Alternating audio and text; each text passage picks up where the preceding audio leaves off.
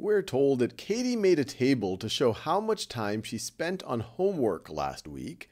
And so we can see the different subjects and then how much she spent in terms of hours. So on math, she spent three fourths of an hour, reading seven eighths of an hour, writing three sixths of an hour, and then science five tenths of an hour.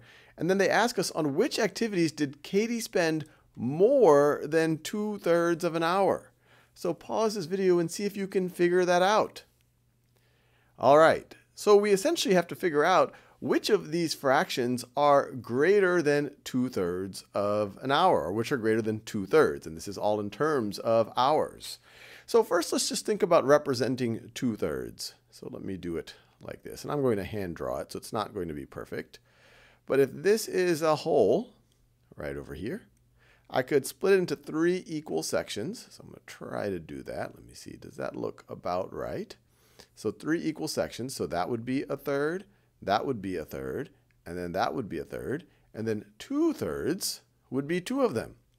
So I'll pick these first two. Well, it doesn't have to be those first two. So that's one third, and then two thirds.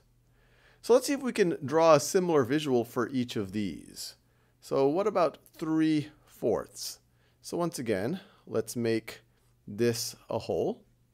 And now if I'm going to think in terms of fourths, I have to divide it into four equal sections. So let's see, if I divide it, that'll be two equal sections, and then I could divide each of those into two equal sections. So let's see, maybe something like this, and then like this. So it's hand drawn, but these are four equal sections. And so this would be a fourth, that would be a fourth, and that would be a fourth, and that would be a fourth. Four fourths make a whole. So three of those fourths would be one, two, and then 3. And so you can see, and I've drawn it pretty close. It's not perfect because it's hand drawn, but you can see that 3 fourths is more of a whole than 2 thirds. It's greater than 2 thirds. So Katie spent more than 2 thirds of an hour on math because 3 fourths is greater than 2 thirds. So I like this one right over there. I'll just put a square, a circle around the ones that she spent that extra time on, or the more, the greater than 2 thirds of an hour on. Now let's think about reading. 7 eighths so to compare that, I will once again make a hole here. And then I want to think about 7 eighths. So I'm going to split into 8 equal sections. So let's see, that will split into 2 equal sections. And then, then I can go to 4 equal sections. And then if I split each of those into 2, this would be 8 equal sections. So it looks something like this. Not perfect, but I think it will get the job done. So each of these are an eighth. So seven eighths are going to be one, two, three, four, five, six, and seven eighths. Clearly, once again, greater than our two thirds that we have in purple. So she spent more than two thirds of an hour on reading. Now, what about writing? Three sixths.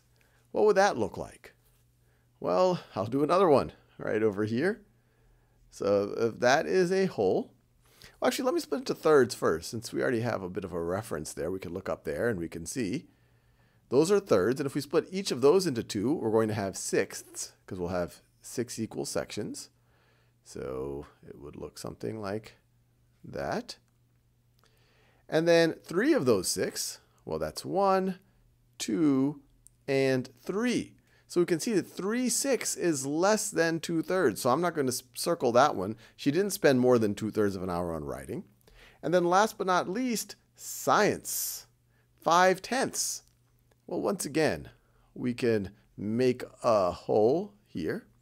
And let's see, I want to do into 10 equal sections. So that's two equal sections. And each of these I can do into five equal sections. Let's see, one, two, three, four, five. I can do a little bit neater than that. Three, four, and five. And then one, two, three, four, and five. I can make it a little bit neater, but I think this will get us to where we need to get to. So these are each a tenth. I could write one tenth, one tenth. I could do that for all 10 of these, but we care about five of these tenths. So one, two, three, four, five of those tenths. And notice, five tenths is the exact same thing as three sixths. And like three sixths, it is less than two thirds. So which activities did Katie spend more than two thirds of an hour on? Clearly, math and reading.